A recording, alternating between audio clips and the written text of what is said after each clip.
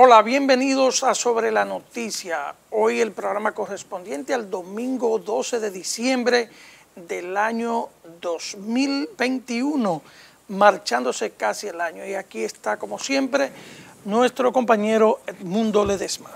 Buenas noches. Contento como siempre, Bernardo, de estar, contigo en Sobre la Noticia, el resumen de fin de semana más completo y más importante y que sepan los amigos y amigas televidentes de que sobre la noticia se transmite, retransmite, por el canal 14 a las 11 de la noche. Así que ahí pueden también ver el programa sobre la noticia. Que hoy tenemos muchas informaciones, eh, resumen de informaciones importantes. Concluyó ayer la cumbre de los presidentes de Panamá, Costa Rica y la República Dominicana. Los presidentes Laurentino Cortizo de Panamá, eh, de Costa Rica Carlos Alvarado y el presidente nuestro Luis Abinader.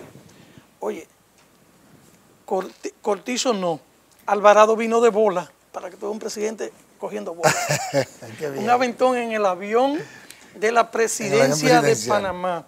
Esta cumbre que se estuvo celebrando entre el viernes en las noches y el sábado, eh, muchas expectativas incluso causó en la región los medios de comunicación, no solo de esos dos países que estaban aquí, sino inclusive Haití y otras naciones hicieron reseña de esta cumbre que concluyó con un acuerdo eh, el acuerdo de Puerto Plata que firmaron los tres presidentes, 12 puntos, pero fundamentalmente eh, Mundo volvió a tocarse el tema haitiano. Como, como tema principal. El tema haitiano, ahí volvieron a hacer un llamado a la comunidad internacional a que no deje el tema de Haití solo a la República Dominicana, de que pidieron que cuando que a la ONU, pues que eh, el programa que tenía, pues lo expanda, lo extienda para que la pacificación de Haití pueda lograrse. Y en medio de esta cumbre, pues Haití ha vuelto otra vez a resurgir la violencia y unas informaciones que se conocieron hoy domingo de que el narcotráfico habría estado detrás o estuvo detrás de la muerte del presidente Juvenal Mois que dicen que lo que andaban buscando cuando lo mataron, tú recuerdas que se hablaba de que andaban buscando un documento, que ¿dónde estaba?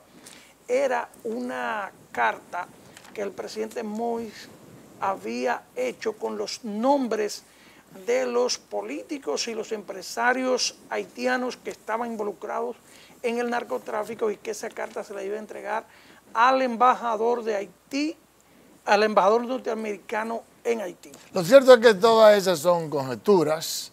En realidad, Haití es un narcoestado controlado por el narcotráfico, por bandas y por un sector de poder que actúa en vinculación con las bandas y el narcotráfico. Evidentemente que ahí no hay ningún gobierno, sino que es definitivamente un estado inviable para atrás como el cangrejo. Y por eso uno tiene que repetir muy bien lo que hace el presidente de eh, promover este tipo de cumbre que se realizó nuevamente este fin de semana con los eh, presidentes de Panamá y de Costa Rica. Y además de promover eh, la cooperación económica, la cooperación política, el comercio, la inversión. Todo eso es importante, pero uno tiene que reiterar que además de mantener un discurso consistente, sostenido y de atraer eh, amigos del área, de otros países, además de Costa Rica y Panamá, de concientizar a toda la región para que juntos eh, movamos los resortes para ver cómo, de una vez por todas, Estados Unidos y los, organismos internacionales van a Haití, apoyan a Haití y no le dejan el problema a la República Dominicana. No obstante, la República Dominicana tiene que actuar en dos direcciones. Una es la que acabo de mencionar con el discurso y la atracción de apoyo internacional, pero también mantener y profundizar las medidas internas fronterizas para evitar que ninguna de esas situaciones negativas que está viviendo Haití vengan a la República Dominicana. Hay que mantener la frontera controlada y hay, reitero, que desmantelar todos los negocios, todas las mafias que eh, se tienen en la frontera, que tienen los consulados de la República Dominicana, todos los cónsules y posiblemente un negocio que se hace, una mafia, digo yo, estoy especulando, pero estoy casi seguro de que es así, entre autoridades haitianas, autoridades dominicanas y militares de ambas localidades, porque no es verdad que lo que pasó con el, en el haitiano este, que encontraron con 12 mil dólares y 92 pasaportes, fue casual. Eso es producto de una mafia y ustedes pueden, pueden estar seguros de que eso está pasando de manera rutinaria y que ese no es el único que hace negocio. Posiblemente, como es haitiano, hay ahora mismo operando algunos 40 más, trayendo, manejando dólares y manejando eh, visas ilegales. A propósito Haciéndole daño al país entonces. A propósito del mundo de lo que tú dices de las visas, pues eh, dos cubanos que residen en la República Dominicana denunciaron al encargado de migración en Jimaní. Dice que junto a otras personas de allá le habían quitado más de 5 mil dólares para dejar pasar al país a sus esposas y a sus hijos. Esa información eh, se dio a conocer ahora, no sé si se lo, están procesando, pero es parte de eso que tú estás Parte de la mafia. Mira, que por cierto, hay que destacar que ya no es solamente la República Dominicana, sino que cuando vemos que Panamá y Costa Rica están interesados en el tema haitiano, es porque ellos también están teniendo problemas con la migración ilegal.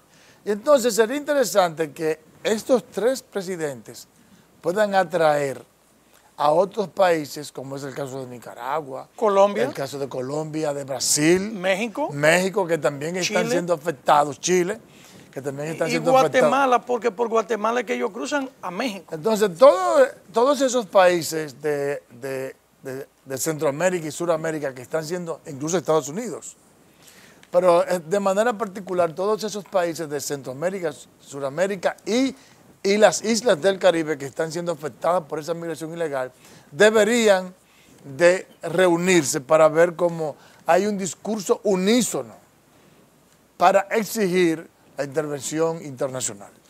Bien, otra información que esta semana pues fue de gran alegría el mundo, y yo lo digo así, de gran alegría, fue la decisión del presidente Luis Abinader y su gobierno de terminar o poner fin al odioso contrato de administración de la autopista de Samaná o Juan Pablo II. El gobierno la adquirió por 410 millones de dólares. Dice el presidente Luis Abinader, que lo vimos en un discurso el jueves, de que esto conllevaría a la República Dominicana un ahorro de 1.500 millones de dólares en el pago del famoso peaje sombra, que el peaje sombra, amigos y amigas televidentes, no es que es un peaje que no se ve, no es que es un peaje físico, es que el gobierno dominicano firmó un acuerdo con los que construyeron esa carretera de que por ahí van a pasar 10 vehículos. Si pasan 5 solamente, el gobierno dominicano tiene que pagar los otros 5. Y a eso que se le llama un peaje de sombra, que al año es un total de casi 100 millones de dólares. Bueno, dijo el presidente que son 125. Eh, Eso más te hace como o menos. 1.400 millones de dólares. Es ahí, de pesos. De, de, dólares, dólares. Eso te hace como 1.400 millones de pesos. Ah, de pesos hacen 4 mil millones, 4 mil millones de pesos. Hace ciento y algo millones de dólares.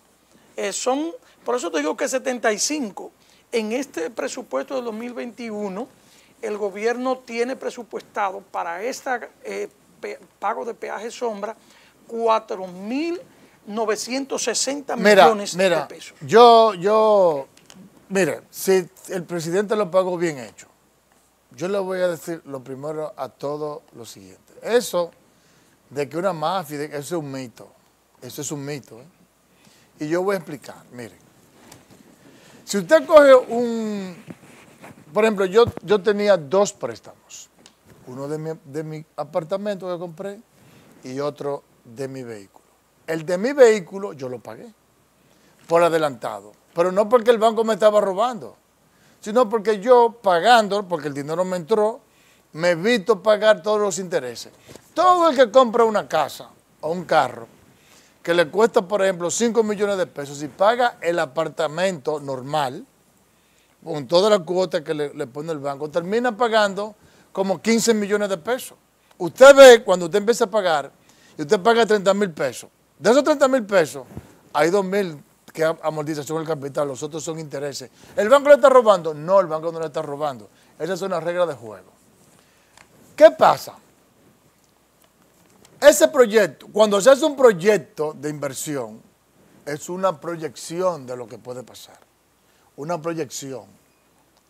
Eso lo hizo, eh, fue Hipólito Mejía quien eh, eh, empezó ese proyecto, que lo, quien ¿Lo firmó? Lo, lo- lo motivó y lo, ¿Y lo firmó. firmó? Lo firmó y después cuando no se había firmado lo motivó para que lo firmaran. Pero, ¿qué fue lo que se, qué fue lo que se hizo? Se hace una proyección.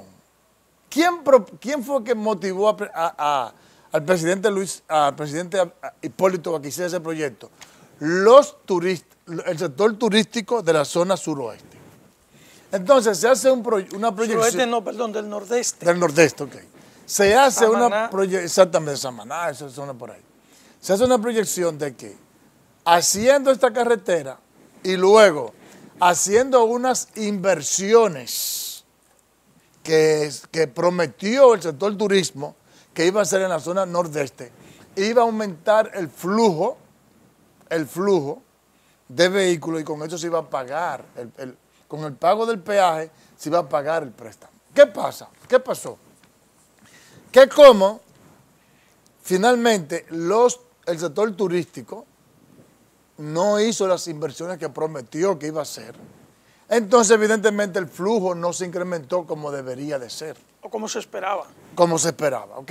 Ahí pasó que luego los gobiernos siguientes debieron de hacer inversiones en infraestructura en la zona, pero además el sector turístico debió de invertir. Y entonces posiblemente con 15, 20 obras entre, lo que, entre la inversión del Estado y la inversión turística, más lo que implica luego cuando se desarrolla un sector turismo, que luego se desarrolla construcción, servicio, etcétera, etcétera, discoteca, eh, la, eh, eh, la construcción. Entonces, se supone que la, la zona nordeste iba florecer económicamente eso iba a incrementar el flujo. No se hicieron la inversión, entonces la, la cosa no pasó. Entonces, déjense de eso. Miren, yo por ejemplo, yo estoy pagando. Ahora mismo, el préstamo que no he podido pagar porque es más alto. Yo pago ahora 20 mil pesos. Pero cuando yo veo intereses, 17 mil, 18 mil, 19 mil, amortización del capital, 1.500. ¿Me están robando? No, no me están robando. Eso es, el cálculo que se hace a una tasa de interés X. Finalizo mi comentario con otra cosa. También se está hablando de que Freddy Pérez hizo un adendum y aumentó. Se fue el entonces ministro de Ok, Obras Públicas. señores, miren, ese, ese proyecto se elaboró en el 2002. En el 2004, en el 2004, aquí hubo una crisis financiera. ¿Qué pasó? Que la tasa de interés, y hubo, una hiperinflación, la tasa, de, la tasa de cambio costaba 17 por 1 y terminó estabilizándose en 42 por 1. Ya eso te dice a ti que los costos no son iguales. Pero después, entre 2005 y 2007 vino la crisis de los commodities. El petróleo costaba 40 dólares y se puso a 150. Ahí fue que vino Petrocaribe. Entonces, ya eso creó otra, otra situación de inflación. Y posteriormente, en el 2008, cuando se inició la obra, había explotado la crisis financiera internacional. De eso creó otra situación financiera internacional, eso creó otra nueva inflación. Y además, el préstamo que en, que en el 2002 quizás era una tasa de interés de 3%, se disparó a 4, 5, 6, a 7. Entonces, la realidad es que cuando se hace el adendum, es porque de seguro los empresarios que iban a hacer inversiones dicen, no, pero la realidad financiera internacional y los costos nacionales e internacionales no son los mismos. O cambiamos esto o yo no le voy a hacer la inversión. Bien, de todas formas creo que la decisión del presidente fue excelente, muy buena, hay que apoyarla. Lo único que yo espero es que además de que no solo un 20, porque un 20% no representa nada, 100 pesos claro, eso va a en los peajes. Un 20% eso es que se te va a costar 900 pesos. 500, costaba, que costaba 1.500, va a costar, eh, le va a bajar 300, va a costar 1.200. 1.200. Entonces, para que lo dejemos con el primero... Ah, porque hay que financiar esos 410 millones de dólares. Para que lo dejemos con el primero de los resúmenes, eh, decirle que lo que ocurrió en Estados Unidos eh, con los Twitter que, le, Twitter, que le dicen en inglés, que es lo... Eh, ¿cómo, se llama, ¿Cómo se llama esto? Lo eh, que hicieron sumamente mucho daños el viernes en, seis estados de Estados Unidos. Entonces se habla de que por lo menos 100 muertos en los tornados, por lo menos 100 muertos han dejado los tornados, unos 36 tornados Hablo de Twitter por la película Twitter, ¿verdad? Pero los tornados que eh, no son aquí muy comunes, y le hago muestra con, el dedo, de lo terrible que son, dejaron por lo menos 100 muertos en seis estados norteamericanos, siendo Kentucky uno de los que más sufrió. Vamos a darle con el resumen internacional con esa y otras noticias.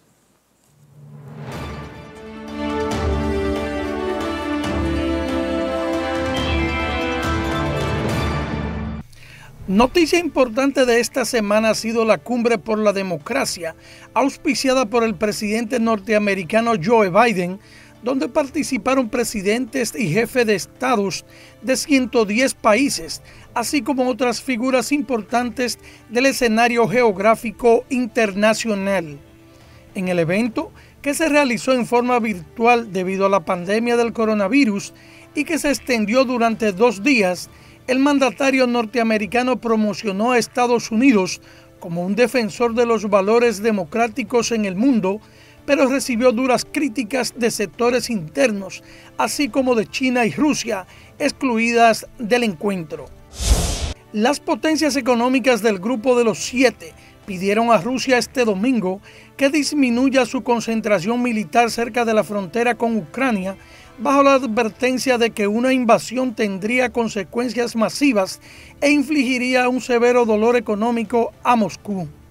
Los ministros de Relaciones Exteriores de Estados Unidos, Gran Bretaña y el resto del G7, junto con el jefe de Asuntos Exteriores de la Unión Europea, emitieron un comunicado conjunto donde se declaran unidos en nuestra condena hacia el fortalecimiento militar y la retórica agresiva hacia Ucrania. En Chile, a una semana de la segunda vuelta de las elecciones nacionales, que se deberán celebrar el próximo domingo 19, las encuestas anticipan una victoria incierta del izquierdista Gabriel Boric frente al derechista José Antonio Cast, quien fue el más votado en la primera jornada el pasado 28 de noviembre. Las encuestas le dan al candidato de la izquierda Gabriel Boric el 53% de la preferencia electoral y al derechista Kass un 46%, pero esa distancia pudiera derivar en un empate técnico debido a lo que decidan los indecisos y el margen de error en lo que se consideran las elecciones más polarizadas desde el retorno de la democracia a Chile. Esta semana Estados Unidos fue impactado por una desesperada ola de devastadores tornados, la más intensa que se recuerda, que ha dejado más de un centenar de muertos y un número indeterminado de desaparecidos, además de una estela de daños que se ha llevado por delante poblaciones enteras y obligado al presidente Joe Biden a declarar el estado de emergencia en varios de los estados afectados. La tormenta que comenzó en la noche del viernes golpeó con fuerza Arkansas, Illinois, Kentucky, Missouri, Mississippi y Tennessee, según el Servicio Nacional de Meteorología, que aseguró que se recibieron informes de 37 tornados en distintos estados. También esta semana se produjo un fatal accidente en una carretera del sureño estado de Chiapas, en México, que provocó la muerte de más de 50 inmigrantes que viajaban escondidos en un furgón. Entre los accidentados hay de diferentes nacionalidades, incluyendo cuatro dominicanos, pero la mayoría de ellos son guatemaltecos, entre los que hay al menos una decena de niños. El camión que transportaba a los ilegales se deslizó y el furgón en donde iban chocó con la columna de un puente. Vale un buen amor. Finalmente, figuras del universo musical hispanoamericano reaccionaron entristecidas con el fallecimiento este domingo del astro de la música ranchera mexicana Vicente Fernández, quien llevaba varias semanas ingresado en un hospital de la ciudad de Guadalajara al oeste de México. El fallecimiento de Chente Fernández, como le llamaban al también actor, ha inundado los medios de comunicación del mundo y las redes sociales con la infausta noticia y las reacciones de tristeza. Sobre la noticia.